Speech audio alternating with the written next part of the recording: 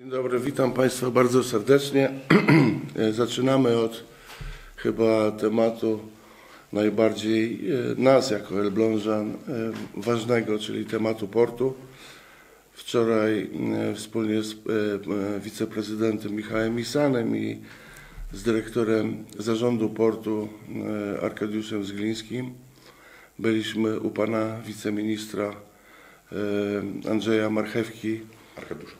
E, Arkadiusza, przepraszam, Arkadiusza Marchewki e, na spotkaniu, e, w którym spotkaliśmy się wspólnie z, również z panią dyrektor Urzędu Morskiego w Gdyni, ale też i bardzo nas to ucieszyło, uczestniczyli w spotkaniu ministrowie, pan minister Jacek Protas, były marszałek e, województwa warmińsko-mazurskiego, który doskonale e, zna e, tematykę, w której się poruszamy. E, Pan minister Ziejewski, minister, wice, wiceminister aktywów e, państwowych, e, pan minister Zbigniew Ziejewski e, startował z naszego okręgu, jak Państwo pamiętacie, do Sejmu. E, Tematyka portu również e, jest mu bardzo znana, a teraz jest również w Ministerstwie Aktywów Państwowych, który e, również tematem portu był i jest mocno zainteresowany. Również w tym spotkaniu brał udział senator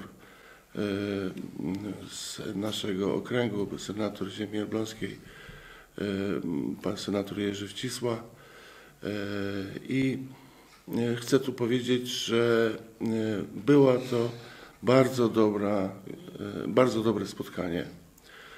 Jestem bardzo zadowolony z tego spotkania, bo jak Państwo wiecie, 33 lata jestem w samorządzie. Przez ostatnie 8 lat praktycznie e,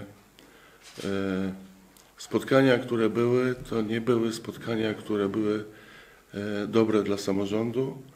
Jak na każdym z tych spotkań e, dowiadywałem się, że, e, e, że mamy, e, czy musimy oddać port e, jako warunek wstępny do tego, żeby cokolwiek robić.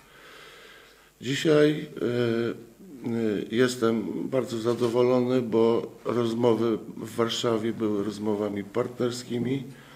Zasada pomocniczości dla samorządu praktycznie była widoczna gołym okiem, gdzie wspólnie e, rozmawialiśmy na, na ten temat, jak tę dużą inwestycję, która, e, która jest rozpoczęta, a jak wiemy niezakończona, w jaki sposób e, doprowadzić do końca.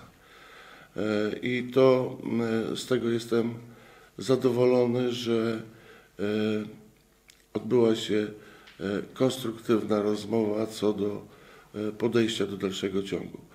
E, e, Prac, które będą. Oczywiście e, jasne jest, że nie jest to już warunek konieczny, że musimy oddać port, bo to jest tak jakby część początkowa, a teraz trzeba ustalić wszystkie szczegóły i tutaj tak jak pan minister Arkadiusz Marchewka powiedział, rozpoczynamy budowę harmonogramów, dokumentacji.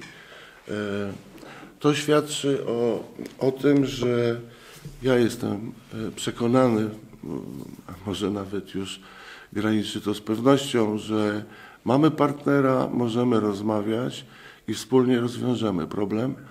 Jak wiemy, problemy zawsze się pojawiają, kiedy e, już są jakieś szczególne sytuacje, ale na dzisiaj ustaliliśmy, przygotowywany będzie harmonogram i e, pracujemy nad e, dokończeniem rozpoczętego e, zadania inwestycyjnego, bo wiemy, że dopóki nie będzie e, pogłębionego toru e, e, do terminala, no to ja- jaki tutaj e, sens ma całe wcześniejsze e, działanie. Także proszę Państwa, e, przyjechaliśmy e, do, do Elbląga z powrotem e, bardzo zadowoleni i to nie tylko takie zadowolenie, żeby, żeby się cieszyć, ale to widać, że po drugiej stronie mamy partnera i będziemy mogli wspólnie temat dokończyć.